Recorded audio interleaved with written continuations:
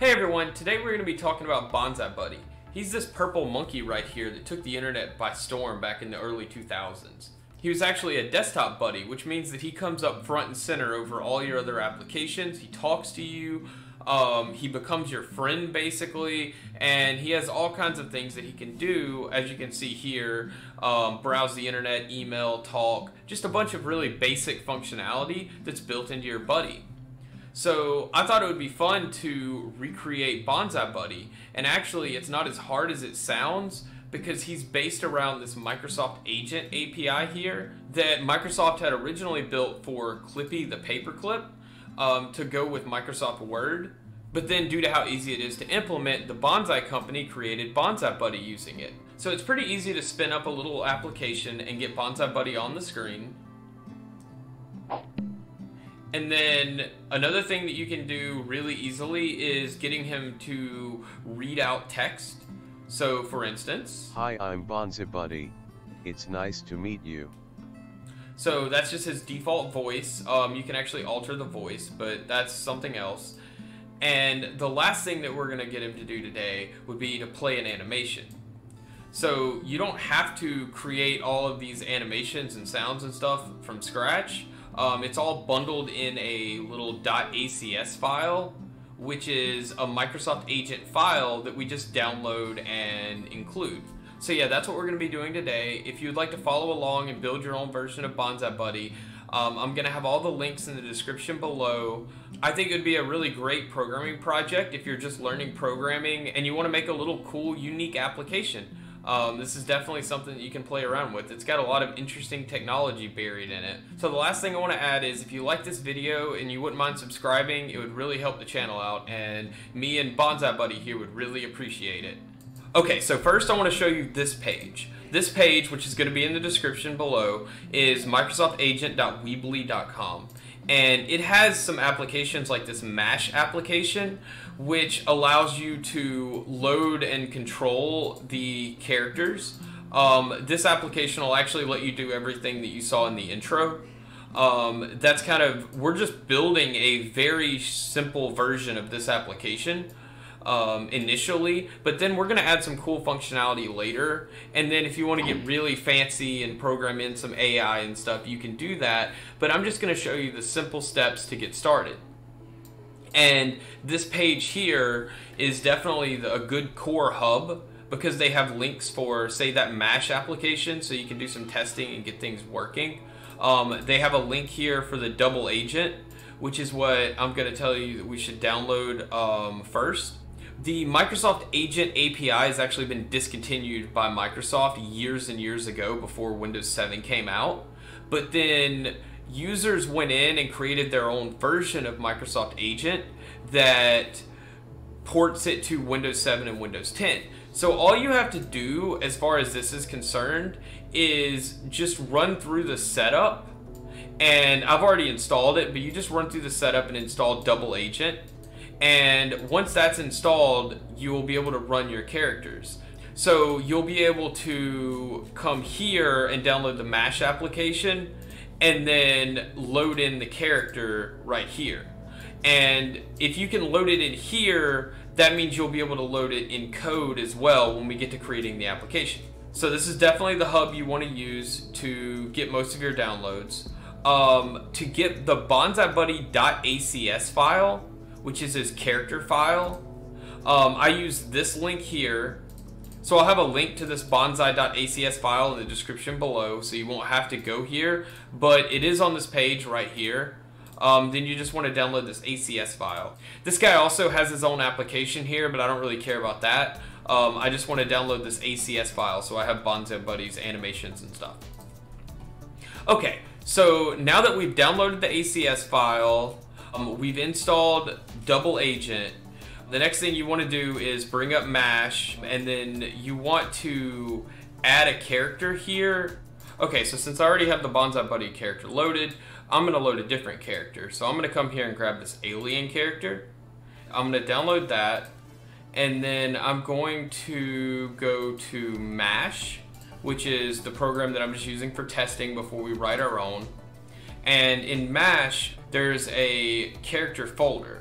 So first you want to go to select your character folder and mine is C slash agents. So I'm going to hit OK and I'm going to go to that folder and I'm going to paste my aliens.acs file in there so that Mash can see the character. And from that point, I'm going to refresh the character list. Ah! My Windows theme is going to yell at me. And now I have Alien in the dropdown. So I'm going to go ahead and load Bonzi Buddy up. And you're going to get this Cheyenne box around him. And this is what Microsoft Agent looks like. So if you have just Microsoft Agent installed, then you're going to get the Cheyenne box. And this is where Double Agent that we downloaded earlier comes in. So what I did here was I just searched for Double Agent on my computer and I found this Double Agent file that has um, that has to be turned on effectively. So you install Double Agent and then you choose to use Double Agent. And now I'm going to hide Bonzi Buddy again. Okay, so once you've turned on use double agent, and I had to reload mash, like I had to open and close this to get this to work, but then we just hit show, and Bonzi Buddy swings in in all of his glory without the blue square around him. So we're ready to go. At this point, you've got double agent installed, you've got Bonzi Buddy downloaded, and you're ready to start writing code. So we're gonna open Visual Studio and get started. All right, so we're gonna create a new project, and I guess I'm going to do this in C Sharp. And we're going to create a Windows Forms application. So I'm going to click Next. I'm going to get Bonzi Buddy out of the way. And uh, so we're going to hit Bonzi Buddy as the name. And framework is 4.7. That stuff doesn't matter. This is It's saved in this repo. And we have our form. So I'm going to make this form a little smaller. And then I'm going to change the text to Bonzi Control Board and we're gonna go up here and call it uh, form. Uh, I'm just gonna call it form dashboard because that's what I call most of my stuff.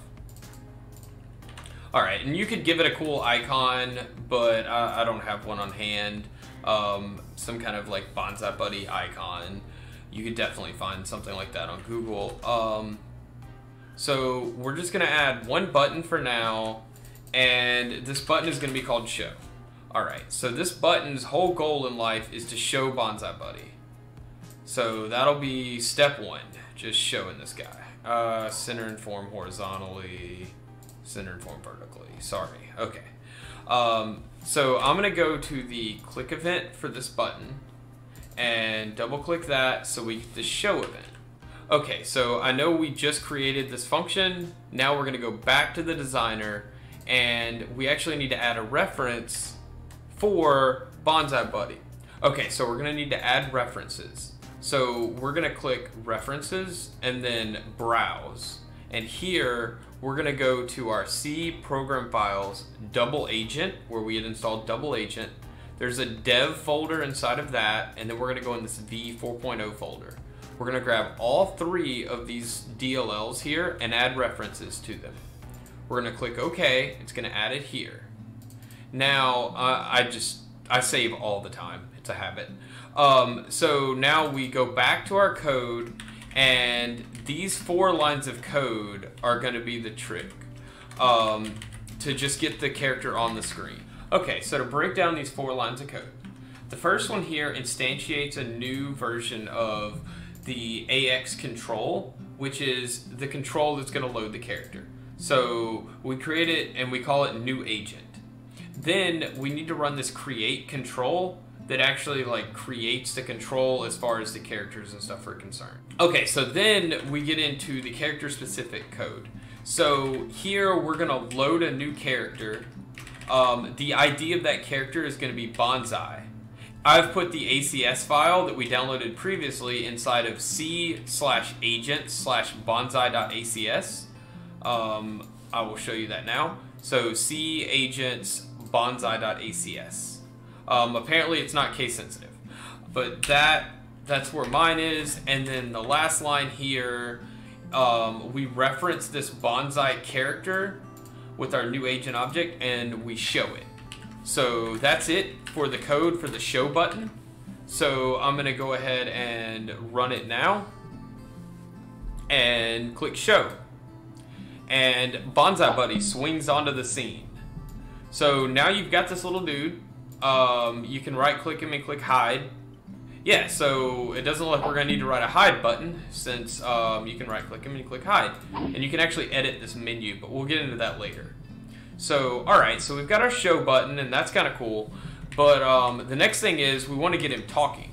So the first thing I'm going to do, I'm going to go back and I'm going to go to the form, and I'm going to go to the form load event.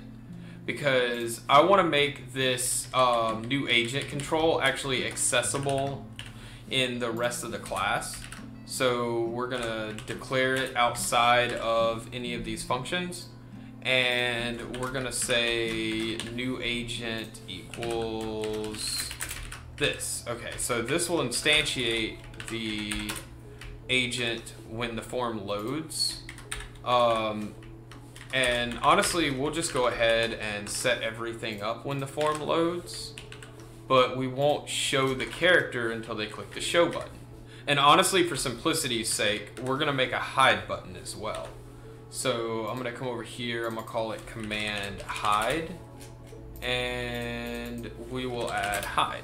So this will just kind of make life a little simpler um, and get us a little more familiar with uh, creating different functions and how we're gonna use this. So it's gonna look a whole lot like the show there. We're gonna reference Bonzi inside of our new agent instance, which is actually accessible to the whole class now. Okay, so we're gonna build it now. And so initially it will run the code in form dashboard load and it'll load our character and then we click show and it's going to show our character. And then we're going to click hide and he's going to go away. All right, so now we've kind of created a control panel for him. And the next thing we're going to do is get him to start talking. All right, so we're going to add another button and we're gonna call it, uh, or we're gonna change the text on it to speak. And we will say CMD speak. Okay, so we've added a new speak button. And with that, we're gonna add a text box so that we can just write some text in. We'll call this text TXT speak. Um, we'll go ahead and change the font size to 12 so you guys can see it. And we'll just make it go all the way across and put the speak button there. I'm not a huge fan of this layout, but I guess it's good enough for now. Um, we're gonna change the default text of the text box so I don't have to type this in every time. Um, I'm just gonna say, uh, hey, it's nice to meet you. Um, so we'll just have him say that. That'll be our goal here. Okay, so now we're gonna begin to write the code to actually make him speak. So it's gonna be new agent.characters and then reference bonzi and then we're gonna do dot speak.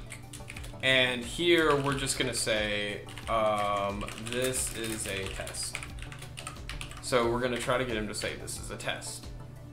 So we load it, we show Bonzi Buddy here, and then we click speak. This is a test. And there you go. Um, he's already talking. So now let's go ahead and get him to say what's in our text box. So I'm gonna hide Bonzi Buddy again and close the form. And instead of this, we're gonna say txt speak.text so that he'll just say what's in the text box. So we are gonna show him again. And now we're gonna click speak. Hey. It's nice to meet you. All right, so now we've got him speaking. So that's pretty cool. So the last thing I want to do is get him to move around. So we're going to make another button and we're going to say move for the text and we're going to call it CMD move. Okay, so we're just to have him move to where the cursor is. So use this move to function here. And so for X, we're to say cursor.position.x. And we're to subtract 60 because that's kind of how wide he is. And then for the y, we're to say cursor.position.y, and then subtract 60 again. Um, okay, so it really wants this to be an integer. So we're to say um, convert dot to int32 and see if that works. And then here, convert dot to int16. Let's see. I think that's what it wants. Yeah, it wants an int16. So to int16. All right. So now we have this. Uh, definitely wants a semicolon at the end. Let me move this properties window. Okay. So it's basically just move to and then an X and a Y. Okay, so we're gonna go ahead and hit start again. And now we're gonna click show to bring out Bonzi Buddy. And now we're gonna click move and he should move to where my cursor is. Boom. And there he is. All right, so we'll go ahead and hit move again. And he actually moves to where my cursor was when I clicked move, which is kind of amusing. Okay. All right, so we'll go ahead and hide him again and stop. Okay, so what I think would be cool is to have him move to one of the four quadrants on the screen. I don't see a lot of value in him moving to where the cursor is. That just sounds like it's going to get in your way all the time. Okay, so first we're going to go for the uh, top left. So we're going to try to get him to move to the top left of the screen, which I'm going to bet is going to be 0, 0. So let's go ahead and show him, move him to the middle of the screen and click move and see where 0, 0 is. All right, so the top left is 0, 0. So now we're gonna try to get the top right and we're gonna say new agent dot characters um, bonzi dot move to and for the X, we're gonna say the screen dot primary screen, which is hopefully gonna be my middle monitor, dot bounds dot width. So the width of the primary screen minus 100. That'll be our X, and we'll set the Y to zero to be at the top. So then this is gonna want that same thing like the mouse had, where it's 2 int 16. And we're gonna convert this to an int 16. And all right, so now it'll run. So we've commented out our first line, so he's not gonna move to the top left. And we're gonna see if this will move him to the top right. So we're gonna go ahead and hit move, and he's gonna sail across our screen all the way to the top right. Although he kinda went a little too far. So we'll knock him back a little to say 200. I'm gonna run it again, and I'm gonna show him over here, and we're gonna have him fly across the screen one more time. And hopefully this time he doesn't end up on my other monitor. Perfect. That sounds good to me. Okay, so now we just need to find the bottom of the screen. Um, this will get a lot faster too. So we're gonna go to the bottom right actually. So we know that this is the right of the screen. Let's do the height now. So this is gonna be actually here. Let, let me do this. Um, uh, int third, uh, int 16 equal this. Um, uh, int 16 screen width, and then we're gonna do uh, screen height. And this isn't technically gonna be the screen width and screen height. This is gonna be the character's representation of that. It's going to be the screen width minus 200 and the screen height minus 200. Um, so it's going to be an approximation. Um, so here we're going to say um, screen width, and then here for this X, we're still going to have screen width. And then here, now we can just say screen height. So his start location is basically going to be the width and the height which is going to be down here at the very bottom right, but you're setting his top left position. So we're going to click show again, and now we're going to click move, and hopefully he'll move to the bottom right. Oh, I accidentally left his first command in, so he moved to the top right first, and now he's going to move on down to the bottom right, which is perfect. Um, okay, so we're to stop this, and there's a bunch of different ways that I could do this, but I'm gonna create um, a function called move bottom right and have him and that will move him to the bottom right. And I'm to create another function called move top right, which is to move him to the top right using that same line of code as before.